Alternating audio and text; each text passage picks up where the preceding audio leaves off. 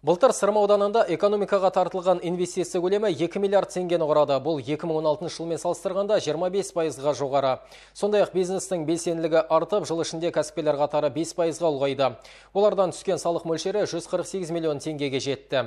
Жыл бойы атқарылған жұмыстар мен алдағы жоспарлар туралы аудан әкімі Төлеген Төреғалиев есептік кездесуде баян етті. Аудан экономикасы үшін мал шаруашылығы жетекші мәнге ие. Былтыр осы салада 9,8 миллиард теңгенің өнімі өндіріліп, өсім 27 пайызды құрады. Ал алтын асық, сыбаға, құлан тәрізді бағдарламалар арқылы төрт түліктің саны 1200-ге артты. Су және газбен қамту, жолдарды жөндеу бағытында да оң көрсеткіштер көп. Аудан орталығының әлеуетін арттыру мақсатында жылма-жыл жолдарды жөндеу жұмыстары жүргізілуде. Атап айтқанда, жолының соңғы 3 жылда 8-де 1 километр жөнделсе, өткен жыл ұзындығы екі бүтін оннан бір километр құрайтын. Құны жүз елу үш те тоғыз миллион теңге болатын қолғанатов асадуллин көшелерінің жол құрылысы аяқталып пайдалануға берілді. Әлеуметті мазалаған мәселелер де назардан тыс қалмады. Жиында солардың бірқатары тұрғындар тарапынан көтерілді. Атап айтқанда денсаулық сақтау мекемелеріне жедел жәрдем көліктері жетіспейді. Қарағанды құспанқұл жаңа өмір жетікөл көгеріш және аңқатының медициналық пункттері күрделі жөндеуді қажет етеді. Ал сырым қажығалиев былқылдағы ауылына көгілдір отынның керектігін алға тартты. Былқылдақта болдық бұл мәселе жөнінде сөйлестік. Сол сметаны қайтадан корректировка жасап облыстық энергетика басқармасына балансқа беру жөнінде келісілді. Сондықтан алдағы жылдары газ мәселесі шешіледі деп ойлаймыз. Ауданда жылдан жылға тұрғын үй құрылысы қарқын алғанмен баспана мәселесі шешімін табар емес.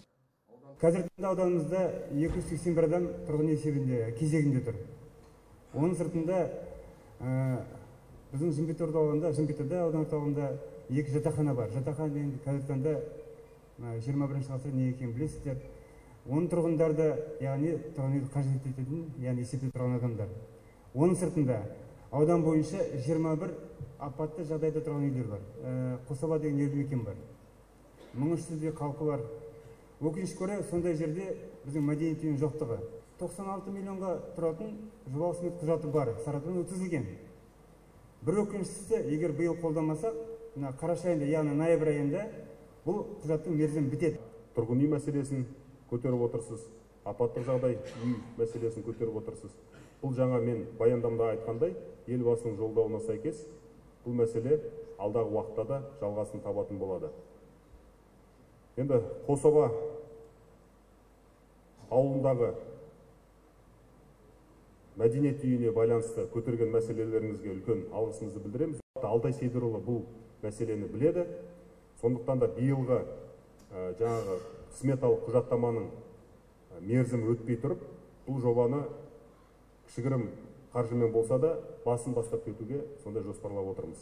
Биыл жымпиты ауылындағы бес көшені жөндеу жоспарланып отыр. Сондай ақ аудан орталығында отыз алты пәтерлі үш қабатты үй мен алғабас ауылында он тұрғын жайды салуға және он бес баспанаға инфрақұрылым тартуға жобалық сметалық құжаттама әзірленуде. Жалпы жиын барысында көтерілген әр мәселе назар қылынбақ деді аудан әкімі. Аудан тұрғындары есепті мерзімде атқарылған жұмыстарға оң бағаларын берді. Рауан рүстем исжанов алтынбек қабделов ақжайық арнасы.